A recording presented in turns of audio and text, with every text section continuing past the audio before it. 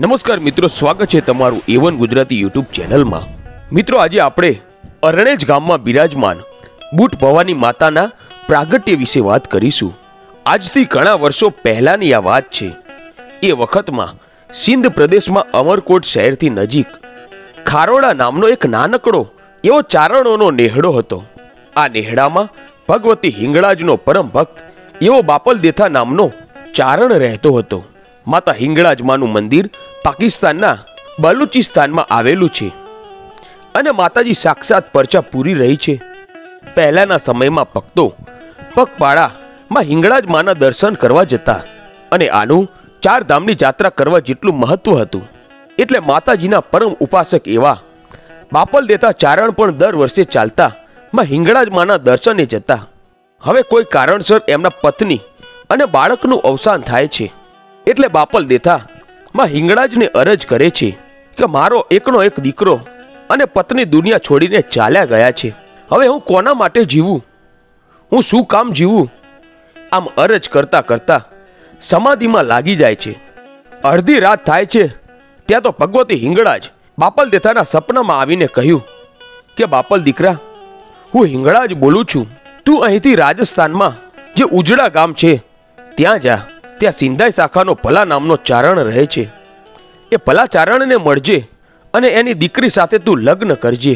અને દીકરા બાપલ, હું તારી ભક્તિથી ખૂબ પ્રસન્ન થઈ છું. હું તને નિર્વસ ના જવા દઉં. હું વચન આપું છું. એક નહીં, પણ મારા ત્રણ રૂપ લઈને જો હું તારા ઘરે જન્મું, તો માનજે કે હું હિંગળા જ બોલી હતી. અને મારું પહેલું રૂપ જે જન્મશે, એનું નામ બૂટ રાખજે. અને જો જન્મતા વેત કાનની બૂટ વિંધાયેલી હોય તો જ તું માનજે કે હું હિંગળા જ આવી છું. પછી તો માતાજી લીલા કરે છે. માતાજીને ક્યાંક બેસણા કરવા હશે અને એને પરચા પૂરીને એનો મહિમા વધારવો હશે. એટલે અહીંયા માતાજી ભલા ચારણના સપનામાં આવીને કહે છે કે, હે ભલા ચારણ સિંધમાંથી મારો દીકરો બાપલ આવે છે. એનું ભાવથી સ્વાગત કરજે અને તારી દીકરી સાથે પરણાવજે. જોજે, એનું જરાય અપમાન ન થવા દેતો. પછી તો માતાજીના કહ્યા પ્રમાણે બાપલ દેતા સિંધમાંથી ચાલતા ચાલતા મારવાડના ઉજળા ગામ આવે છે.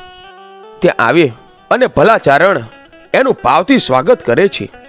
અને માં ભગવતીના કયા પ્રમાણે ભલા તેની દીકરી દેવલના લગ્ન બાપલ દેતા સાથે કરાવે છે. લગ્ન મંડપમાં મંગળ ફેરા ફરતી વખતે આઈ દેવલને ચોરીમાં એક ડોશીમાં દેખાય છે.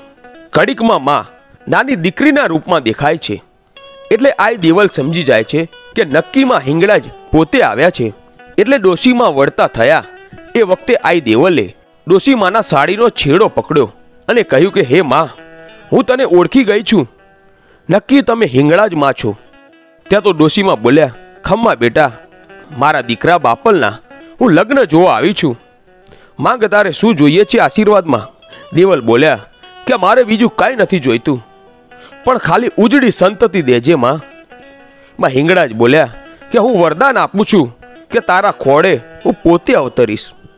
આમ બાપલ દેસા સાથે લગ્ન કરીને ઉજળા ગામમાં જ વસવાટ કરે છે. સમય જતા તેમના ઘરે પહેલી દીકરી જન્મી અને માં હિંગળાજના કહ્યા પ્રમાણે દીકરીના કાનની બૂટ વિંધાયેલી હતી. એટલે બંને સમજી ગયા કે દીકરીના રૂપમાં હિંગળાજ પોતે આપણા ઘરે અવતર્યા છે. સમગ્ર ચારણોની નાત અને ગામ લોકો માતાજીના ઓવરણા લઈને સ્વાગત કરે છે. પછી તો સમય જતા બીજી બે દીકરીઓનો જન્મ થાય છે. ત્રણે દીકરીઓના નામ બૂટ, બલાડ અને બહુચરા રાખે છે.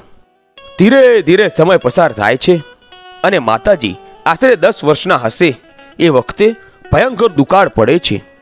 એટલે બાપલ દેથા માલ ઢોરને બચાવવા માટે ઘરના બધા એને લઈને ગુજરાત તરફ નીકળી પડે છે. મારવાડથી મહેસાણા થઈને હાલના બહુચરાજીની આજુબાજુનો જે ચુવાડ પ્રદેશ છે ત્યાં આવી પહોંચે છે. બાપલ દેથાને એમ થયું, આ કપરા દુકાળમાં ચુવાડ પ્રદેશ માલઢોર માટે અતિ શ્રેષ્ઠ પ્રદેશ છે. એટલે બધા ચુવાડ પ્રદેશમાં રોકાઈ જાય છે. બાપલ દેથા ચારણની સૌથી નાની દીકરી બહુચરાને આ પ્રદેશ ખૂબ જ ગમી જાય છે.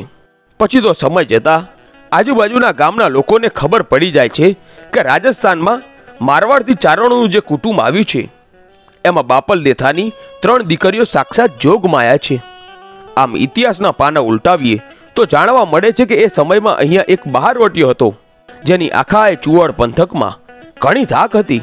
તે પણ બહારવટીઓ છોડીને માતાજી બહુચરા સામે હથિયાર મૂકી દે છે. પછી ટૂંકમાં વાત કરું, તો ત્યાં માતાજીનું ત્રિશુલ નીકળે છે અને ત્યાં જ માતાજી બહુચરા બિરાજમાન થાય છે. અને બાપલ દેથાને કહે છે કે, હે પિતાજી, હું અહીંયા જ રહીશ. આ જ મારો પ્રદેશ છે. તમારી સાથે હું નહીં આવી શકું. આ માતાજી બહુચરાના બેસણા થાય છે અને ગામનું નામ બહુચરાજી નામ પડે છે. પછી ઇતિહાસ સાક્ષી પૂરે છે કે થોડા દિવસો રોકાયા પછી બાપલ દેતા ભગવતી બલાડ અને માં બુટ સાથે સૌરાષ્ટ્ર તરફ જવા નીકળે છે. અને વિરમગામથી નીકળી વાંકાનેરના પાદરમાં પહોંચ્યા ત્યાં બાપલ દેથાનું અવસાન થાય છે. અને તેમના વિરહમાં તેમની પત્ની આય દેવલે પણ ગામતરું કર્યું. બંને બહેનો અંતિમ વિધિ કરે છે. ભગવતી બલાડને વાંકાનેરનો પ્રદેશ અનુકૂળ આવે છે અને ત્યાં જ રોકાઈ જાય છે. અને અને માતાજી બૂટ, માલ ઢોર અને કબીલાને લઈને સૌરાષ્ટ્ર તરફ જવા નીકળે છે. અને ચાલતા ચાલતા હાલનું જે તળાજા ગામ છે, ત્યાં પહોંચીને માતાજી માલ ઢોરને લઈને વસવાટ કરે છે. એ સમય તળાજા રાજા વીર એભલવાળાની રાજધાની કહેવાતું હતું.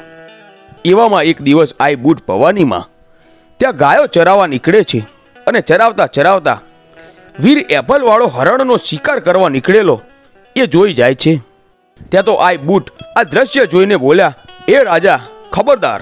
આ અબોલા જીવનો શિકાર કરતા તને શરમ નથી આવતી? આમ ખબરદાર શબ્દ સાંભળ્યો. ત્યાં વીર એપલવાળો ઓળખી ગયો કે આ કોઈ સામાન્ય ચારણની કે ગોવાળની દીકરી નથી. અને વીર એપલવાળાએ આઈની ઓળખાણ પૂછી. આઈ બુટમાં એ ઓળખાણ આપી, ત્યાં એપલવાળો બંદૂક ફેંકીને આઈના પગમાં પડ્યો અને કહ્યું, આજથી હું હરણનો શિકાર નહીં કરું અને કોઈને કરવા પણ નહીં દઉં.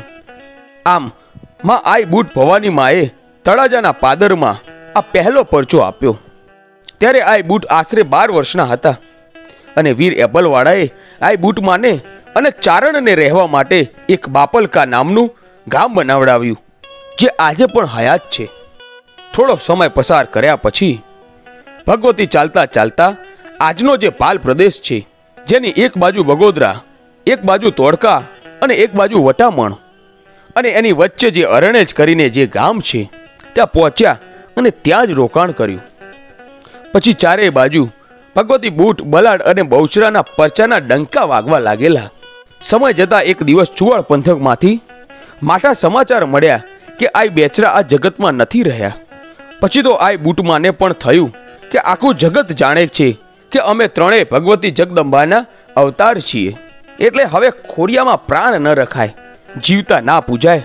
આમ આઈ બૂટ ભવાની માએ અરણેજ ગામના પાદરમાં પોતાનો દેહ ત્યાગ કર્યો. જતા જતા અરણેજના અને પાલ પંથકના માણસોને કહ્યું કે જ્યારે જ્યારે યાદ કરશો, ત્યારે ભગવતી બુટ ભવાની તરીકે આ વિસ્તારમાં નહીં, પરંતુ જગતના તમામ લોકોના રખોપા કરીશ. આ મારું વચન છે. ત્યાર પછી એ સમયે કારડિયા રાજપૂત સમાજમાં થઈ ગયેલા કાળા બાપા અને ધોળા બાપા બંને માતાજીના પરમ ઉપાસક હતા. તે સમયે રાત્રે માતાજી બંને ભાઈઓના સપનામાં આવ્યા અને કહ્યું કે, અમે ચારણના દીકરી છીએ. આ ગામના પાદરે વડમાં મારી મૂર્તિ અને ચૂંદડી રાખેલા છે. માતાજી સતત ત્રણ દિવસ સુધી બંને ભાઈઓના સપનામાં આવ્યા. બંને ભાઈઓએ કહ્યું કે, હે માડી આ વડ નીચે બ્રિટિશ સરકારના સૈનિકો રાત દિવસ આરામ કરે છે. જો એ વડને કાપીએ, તો અમારા રાય રાય જેવા ટુકડા કરી નાખે. એ સમયે માતાજીની કૃપાથી આપોઆપ બીજા દિવસે વડ સુકાઈ ગયો. ત્યાંથી બુટ ભવાની માની મૂર્તિ અને ચૂંદડી નીકળ્યા. તે સમયે માતાજીની મૂર્તિની પ્રતિષ્ઠા કરી. ત્યાર પછી માં બુટ ભવાનીએ ઘણા પરચા પૂર્યા. બુટ ભવાની માનો બાનાધારી ભૂવો એવો મેરિયો ભૂવો થઈ ગયો. તો મિત્રો, આ હતો અરણેજ ગામમાં બિરાજમાન માતા બુટ ભવાની માના પ્રાગટ્યનો ઇતિહાસ. મિત્રો, આવા જ ઇતિહાસ જાણવા માટે આજે જ અમારી આ ચેનલ એ વન ગુજરાતીને સબસ્ક્રાઇબ કરો. ધન્યવાદ.